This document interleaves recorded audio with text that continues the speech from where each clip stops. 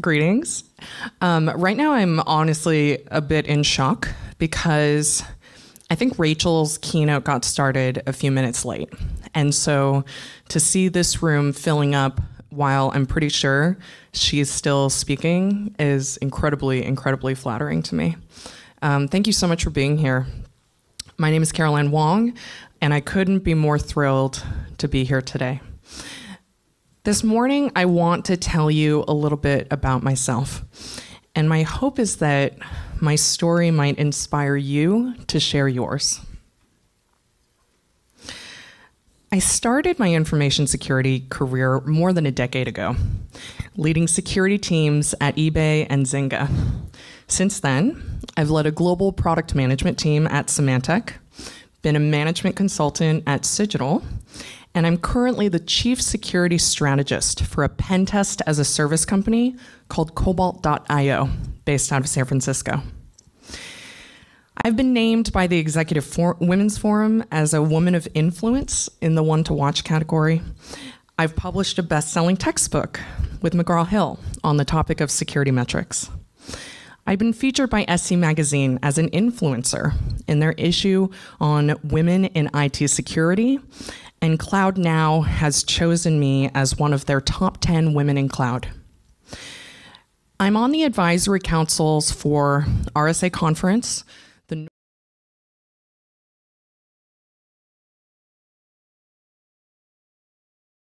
platform called Whistic. I'm publishing six LinkedIn learning courses on the OWASP Top 10, and I host a podcast called Humans of InfoSec. This is my professional story, and it's my public one. My personal story looks a little bit different.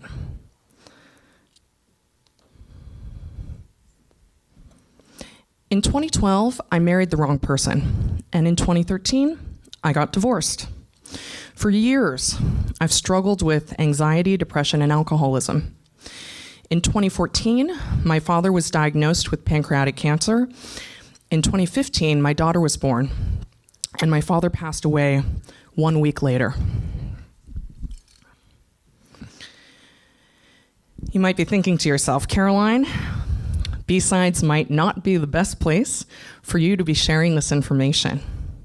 Maybe you should see a therapist. I do, and I have been for nine years.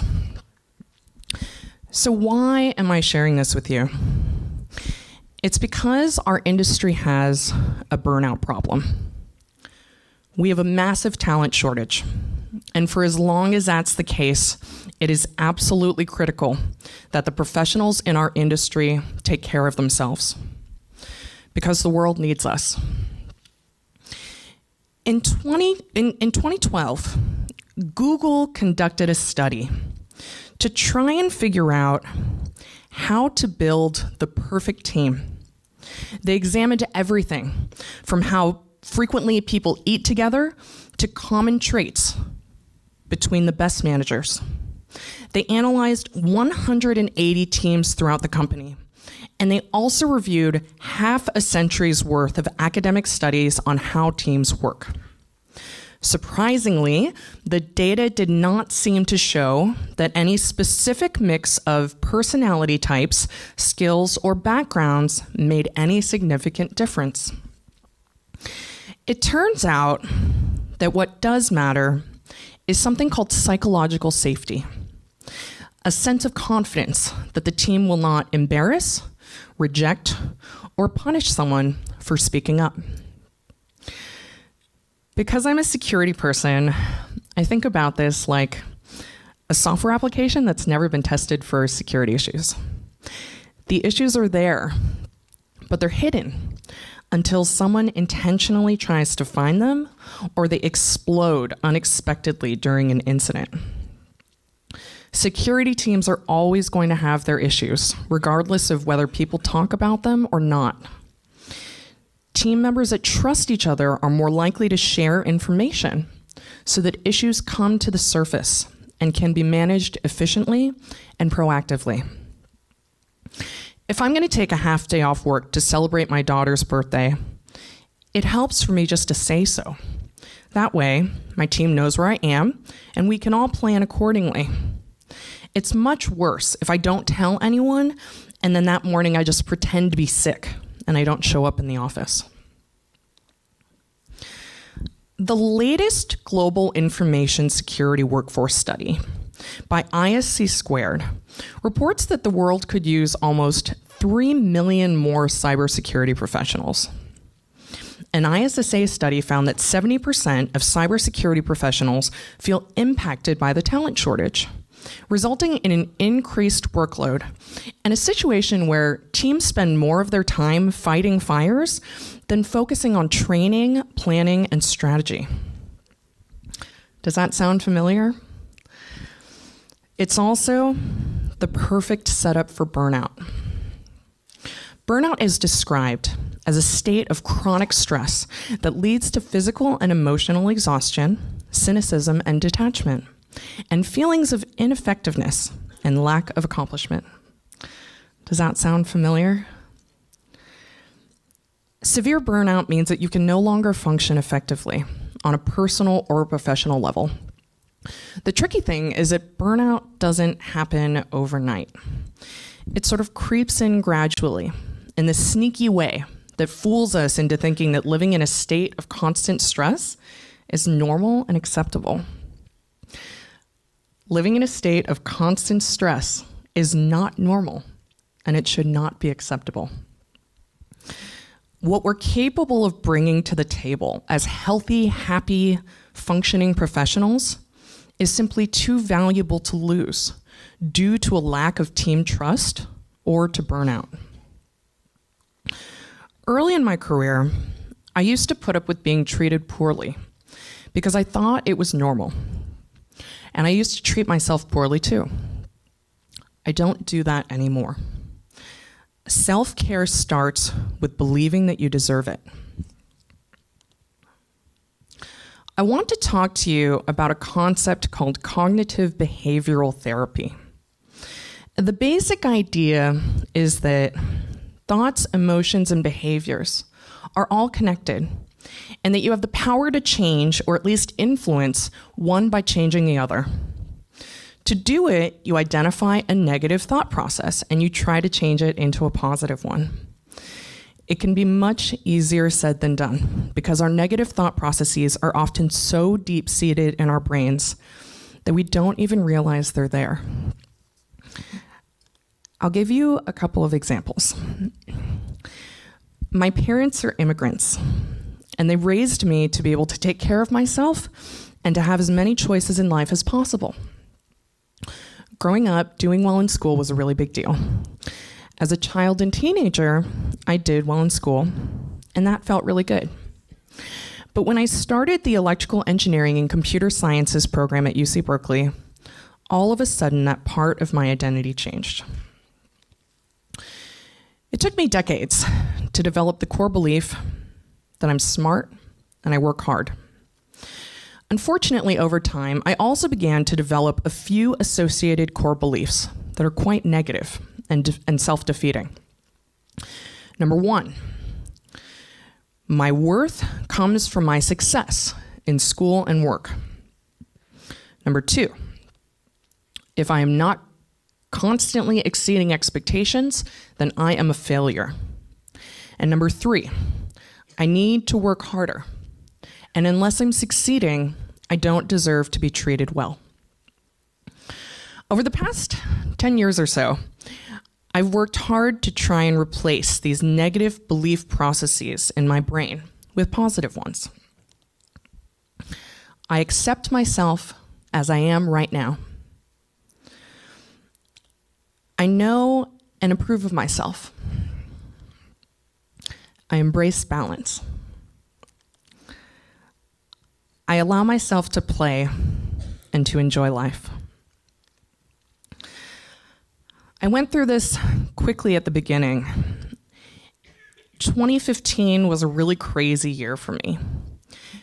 My father was fighting a terminal illness, and I was pregnant for the first time.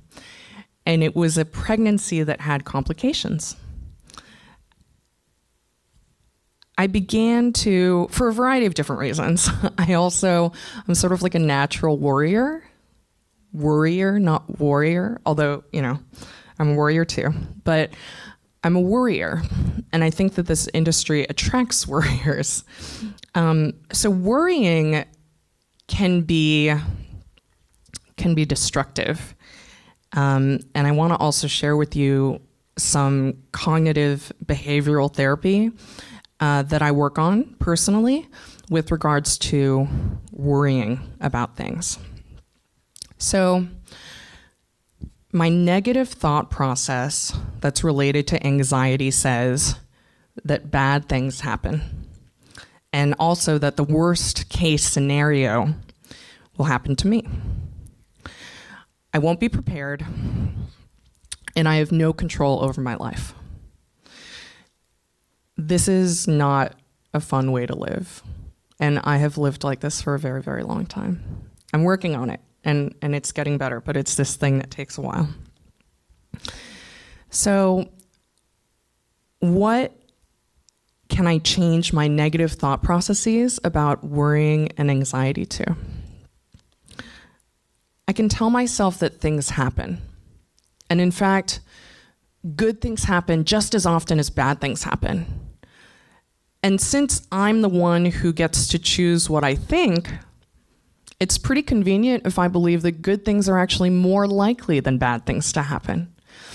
I've talked with my therapist about when I worry about something or when I have like this daydream nightmare of something horrific happening, I can I can change it and I can instead try and think about something that I'm grateful for. There's this idea that the mind can only hold one thought at a time. And if I can think about something I'm grateful for instead of something I'm worried about, that can actually feel a lot better. It's much easier said than done. Another thing, and I grew up going to Catholic school, so I would like walk around the church, and there were these plaques that had the Serenity Prayer. And while I consider myself to be a recovering Roman Catholic, and I don't actually subscribe to that particular formal religion, I do think there's a lot to be said for recognizing in life that there are things you can control and there are things you can't control. And there's sort of no point to worrying about the things you can't control, but to the extent that you can recognize and actually do something about what you can control, you can actually, I believe you can change your life. So, my negative cognition here was, you know, bad things are going to happen and I won't be prepared. My positive thought process that I'm working on and that sometimes I believe, right now I believe it, is that if stuff happens and it will, I actually trust my future self to be able to handle it. I know that I can handle all sorts of stuff and I trust my future self to be able to handle it. My current self doesn't have to worry about something that's not happening right now. Okay, so we're switching topics. We're back to the information security talent gap. For those of us that have and are developing skills in information security, there's this beautiful silver lining to the talent gap, and that's we have choices. So in 2016, my daughter was a year old. It was becoming apparent to me that my lifestyle as a traveling management consultant needed to change. I began to search for a local job, and I spoke with 15 different organizations about various information security roles. 15 is a lot of opportunities. That's a tremendously fortunate position to be in. For me, one of the coolest things about becoming a mom is that my sense of what I want and what really matters to me has become clear. So during my job search in 2016, the number one criteria that I looked for was working with people that I like and respect, who like and respect me. And it's fascinating to me that that is something that I have to like seek out, that I can't just sort of take for granted. But I have had experiences with toxic colleagues and in toxic work environments, and I don't want that anymore. It turns out that being surrounded by people that I trust actually makes my life a lot better. Every single day is better when I can go to work and look forward to seeing my team. My number two criteria this time around during my most recent job search was the ability to have a big impact. And that's why, for the first time in my career, I decided to join a startup. And it has been very awesome. I'm here to ask and encourage you to take care of yourself. And I want to talk to you about some ideas that I have about how to do that. I think it's really important to try and get to know yourself. We live in this world where there's so much stimuli, stimuluses, stimuli. There's so much stimuli, there's so much going on. There are a million things asking us for our attention. We can become experts in things that are outside of ourselves. It's a different type of effort to try and become an expert about yourself. And I would argue that it's actually super duper important. So get to know yourself. How do you do that? Pay attention to how you feel. Which, again, for some of us is easier said than done. I literally remember sitting in my therapist's office about a decade ago, and she said to me, Caroline, how do you feel? And I said, I have no idea. like, I can tell you intellectually what I'm thinking, and I can tell you. I can tell you about the sensations in my body, like I have a headache, I'm hungover, but I can't tell you how I feel. So I had to really, I had to practice. So if you're not good at figuring out how you feel, that's okay. You can try, uh, and over time, it's actually something you can learn. So, I want to talk about um, managing your energy because here's sort of a practical way, practical way to use paying attention to how you feel. When you're doing something, well, let me just read this part actually. Okay, there's a lot of techniques and strategies about how to manage one's time, but what about your energy?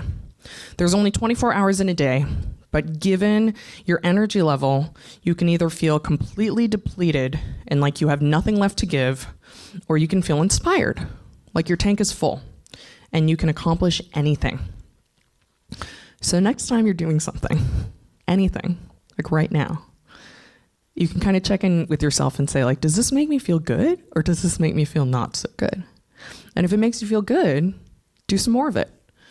And if it makes you feel not so good, figure out a way to do less. Find out what gives you energy and what takes it away from you, and choose your activities accordingly. Okay, so this next section. Here are a few things that I do to take care of my mind meditation, which, if you haven't meditated before, can also seem intimidating.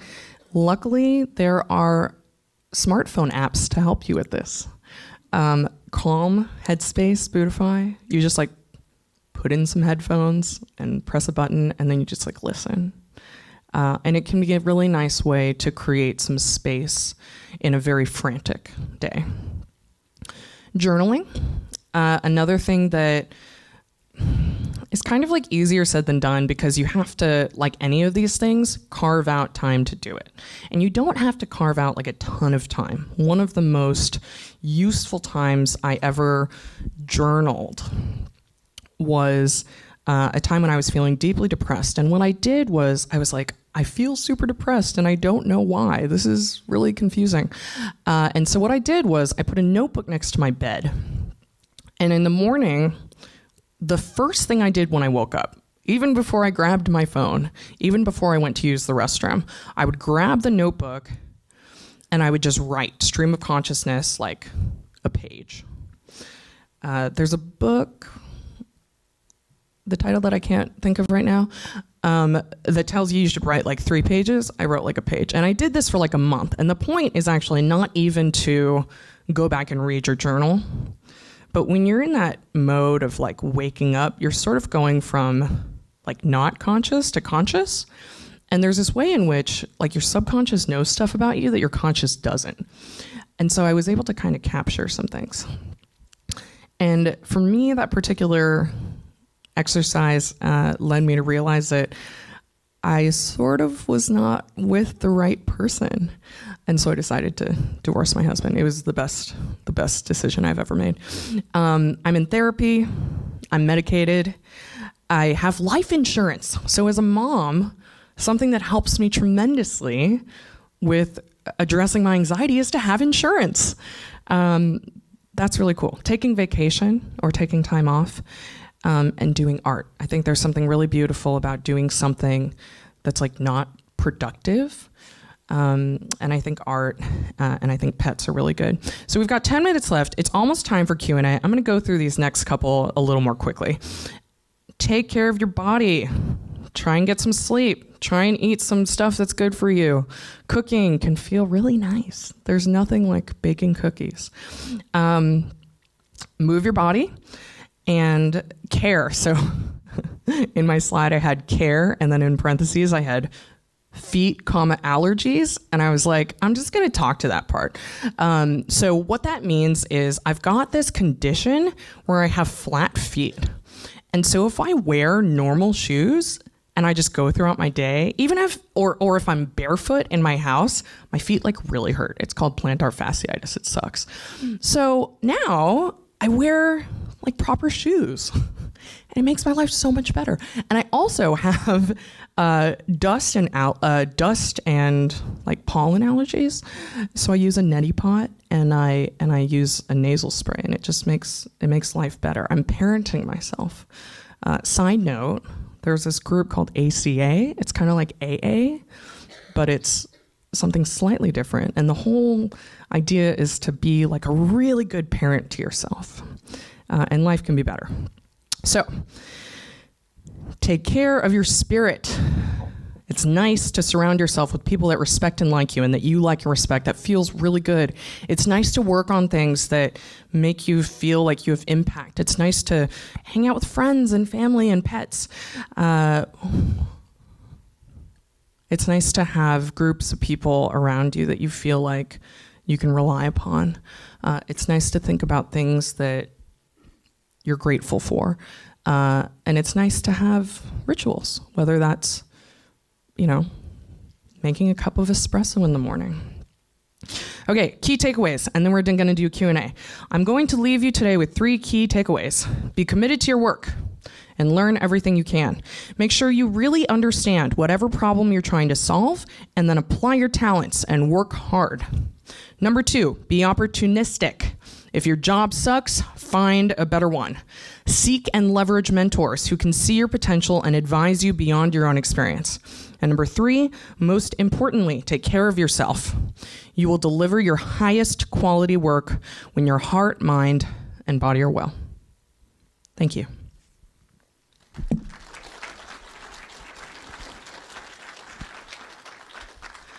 And now it's time for Q&A. And you're supposed to use this Slido thing. And I don't know how I'm supposed to use Slido. I'm just going to stand here, and if there are questions, I will respond to them. So um, I have a microphone as well. So the audience has any questions, I can run over and hand you the mic. So I believe we have our first question down here, and then our second one will be up there. So I'll be right over.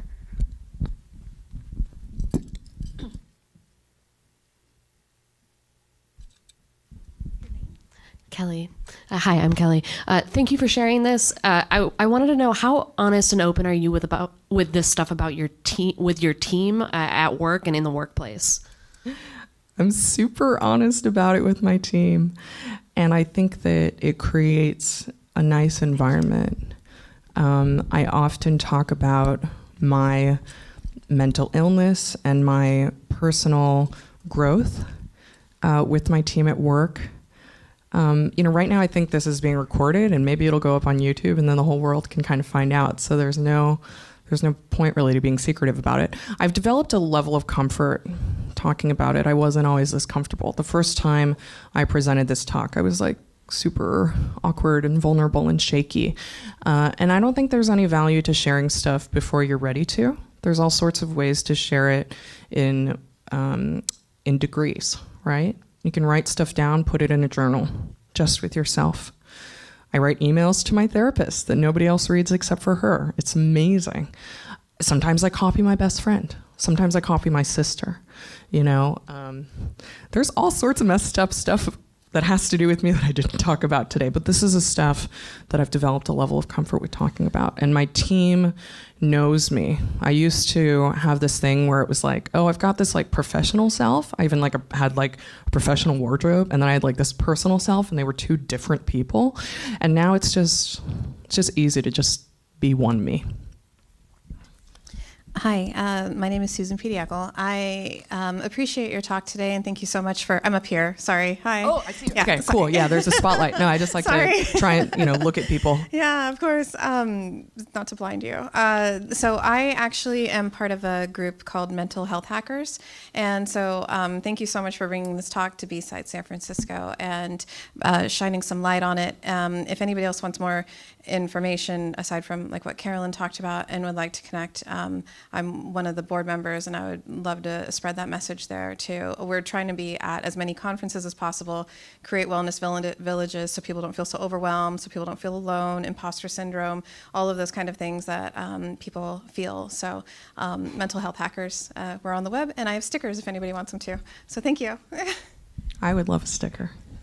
Mental health hackers, thank you so much. What a wonderful presence.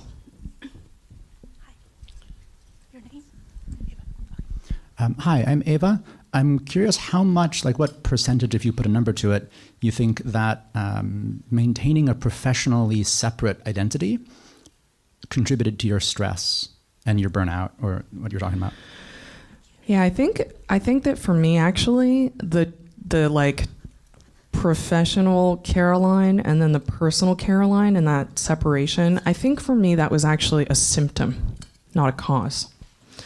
Um, so for me, I sort of had these goals and these values, and um, you know, at work it was like, okay, I I want people to perceive me in a certain way, and so I'm going to highlight those parts of myself. Um, and then my personal life, you know, whatever. Um, and and these days, these days it's just one and the same. And I and I think it's less that I chose it as a thing to work on, and more of again a symptom of my continued self growth. Uh, it's it's just honestly for me a recognition that for me it's easier, and I've taken baby steps. You know, the first time I met with a coworker and I said, "Hey." you know, such and such about me is going on. And that person was receptive and supportive and caring and not taunting. Uh, it was cool.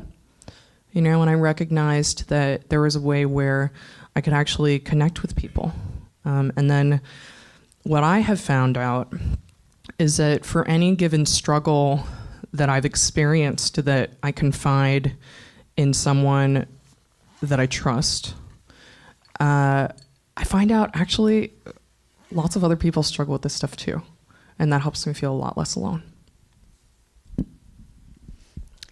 Hi, I'm Sarah. Hello. As somebody else who also married someone and realized it was the wrong person, did you find? I know this is a super specific question. Um, did you find that at work people were supportive, or did you sort of cover that up when it was going on? Because I found that one quite tricky in the workplace. Yeah, that's a very interesting question. I think for me,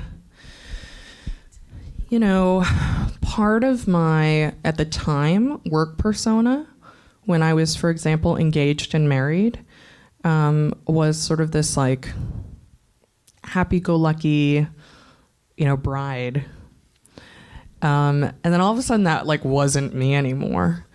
Um, and I think for me at work, you know, people would make assumptions because they were like, oh, you know, you and your guy and I was like, "Oh, not really the guy anymore," you know, and then and and for me it's sort of like if it's somebody that I trust at work, then I'll sort of like have a little side conversation with them. And if it's somebody that I don't know very well, then frankly, it's none of their business. And what we have to do at work is what we have to do at work. Whatever the task is at hand, whatever the project is at hand, you know, my personal life doesn't like isn't anyone's business. Like I'm here encouraging people to share, but also very much to the extent that you are comfortable with. Um, you know, you may be a private person, in which case, like it's totally cool to be like, you know what, I'm a really private person, and I I don't really feel like like talking about that right now. That's like a totally like that's an awesome thing to do for yourself. Hello, um, I'm Mitchell. Um, thank you for the talk. It was very helpful. Uh, how would you go about disassociating, feeling like your job is your personality rather than trying to separate the two? Yeah. So, this is a really interesting thing, particularly in the United States, where there's sort of like this like work hard, make money, buy stuff culture. Um, I think the trick is to do other stuff. And I think the trick is to, you know, sometimes that's easier said than done too, right? Where do you find time to do other stuff? Like, but you you can you can like during a meeting like draw a picture on your notebook that doesn't have to do with work. You know, you can draw a picture of a dog, and you're like, okay, I'm I'm a person who draws dogs. You know, and that'll literally take like five minutes. You know, you can you can on your commute listen to whatever music you love. And depending on where you're at and your comfort level with it, you can like scream at the top of your lungs. You know, you could take a five minute bath and then you're like a person who takes baths. Um, so I think that I think the trick is like to recognize that in a day, like a lot of what we do has to do with our work, but there's stuff that doesn't have to do with our work too. Um, like I'm wearing hiking boots to that whole shoe thing that I was talking about. And I was kind of stressed out about it. I was like, oh, maybe I should wear like more professional looking shoes. And then I was like, you know what? These shoes are really comfortable. And I'm pretty sure no one actually cares what shoes I'm wearing. So I'm like, I'm a person that wears hiking boots to a professional conference. Howdy, Alan here. Um, have you struggled with uh, imposter syndrome? It was mentioned before up there. I was just curious what your take on that was.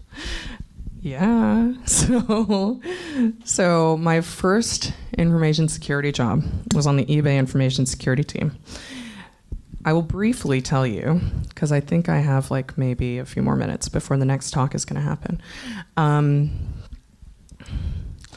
I was in college I'm studying electrical engineering computer science. It is my junior year, and I think, okay, I'm supposed to get an internship. So I look for an internship. I apply to like 40 or 50 different jobs. I get this internship at eBay.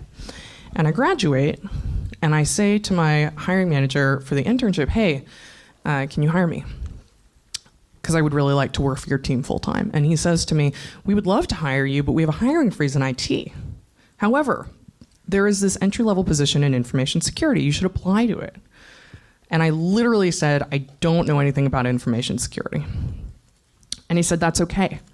You know, they're looking for a new college grad to train. You know, the expectation is not that you've been doing this for a long time. And so I start this job, and my job is to be in charge of the 50 page information security policy. I'm supposed to be the subject matter expert. And people in the business come to me and they say, Hey, why do we have to follow these information security rules? And I'm supposed to like, you know, tell them why. Um, so luckily for me, I type really fast, and so I'm able to have a meeting, type really fast. If I don't understand everything that's going on, I write it down. And then I go and talk to one of the team's managers, one of my team's managers, and I say, like, hey, this is what's going on. Can you teach me about it? And then I go back and I say, okay, here's here's what you need to know. So that for me was a very difficult place to be in because I was sort of in this role where my job was to provide information about this this subject matter that I was I was just learning about.